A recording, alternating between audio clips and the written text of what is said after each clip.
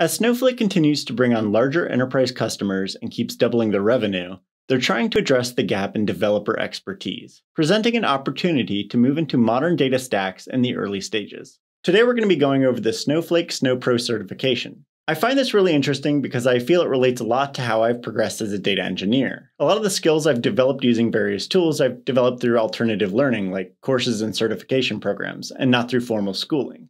So I wanted to explore if this is a worthwhile opportunity to pursue. In this video, we're going to go through a brief introduction to an overview of the certification and exam, what tools and courses are available to prepare, and then wrap it up with my recommendation on this certification. The SnowPro Core certification is what we'll be looking at. There are also advanced certifications for those who have been working with Snowflake for a couple years. The core certification is done with an exam of 100 questions, multiple selection, multiple choice, and true or false. It costs 175 US dollars and must be completed in 115 minutes. The questions will cover topics like accounts and security, which includes managing accounts, security principles such as MFA, encryption and access control, granting and revoking privileges, and data governance practices.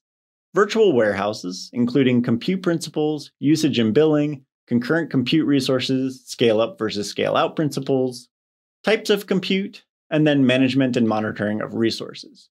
Data movement, commands such as copy, insert, put, get, and validate, bulk copy and Snowpipe, the built in ETL product, best practices around files and folders, exporting data to local or other cloud storages, working with semi-structured data, including file formats, variant data types, and flattening nested objects.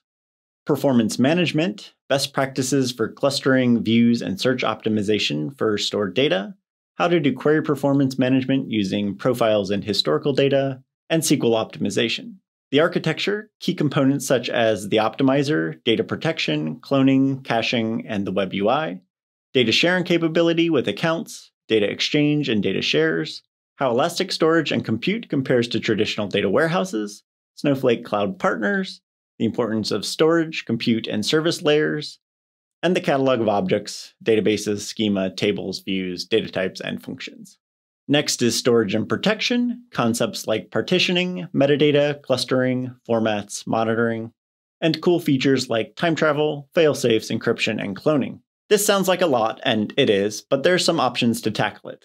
First, there's an instructor led four day course offered by Snowflake for the low, low price of 3000 US dollars, which is not too reasonable unless your company is paying for it. They also have an on demand self study course for $375, which is a bit more doable, but it's only five hours, which seems a bit low for what the exam expects. And they recommend it in conjunction with the $3,000 class, and it tells you to do your own hands on experience and it doesn't list what the topics are covered. And because of that, I can't really ascertain how much value you're going to get for $375. So it leaves me with a lot of doubts.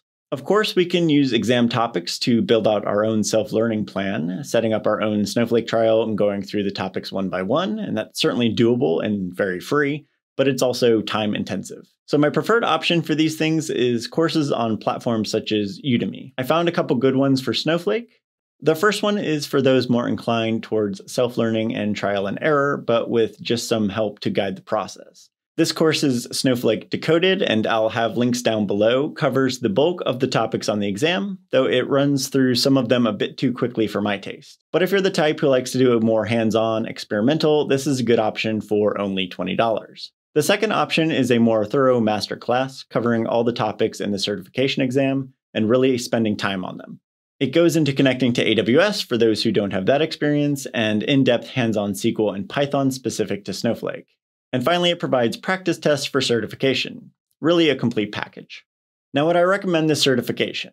Maybe. I think there's definite value in learning Snowflake. It seems like it will be a top competitor for a while, and it's doing a lot of things right that will almost certainly be stolen by Amazon and Microsoft. So the knowledge will transfer to other modern data stacks as well. If you're just getting into a data career, it'll be good to learn. And if you're looking to escape legacy on premises jobs, it's also good to learn. If you already work in Synapse, Redshift, or BigQuery, your mileage may vary. So, learning and practicing Snowflake is worth it with the self learning or Udemy courses. I doubt spending three grand of your own money is worth it for the Snowflake provided courses. As for the cert itself, my general thought is certs don't really matter most of the time. There's some companies that will demand them, but it's rare. On the other hand, Snowflake is a newer technology, so companies may be hiring new developers for a migration and they don't have the expertise to determine if someone knows what they're doing by talking to them. So in those cases, they might be reassured by certifications. The same goes for consulting, where certification can be more expected. Personally, I'd learn Snowflake, apply to jobs, and if I'm not finding what I want, then maybe pay the extra for the certification and see if that opens more doors. Now, if you've gotten through this and are asking, but wait a second, what is Snowflake? Well, it's impressive you made it this far, and thank you for holding your questions until the end of the presentation. Fortunately, I do have a video for you on the introduction to Snowflake.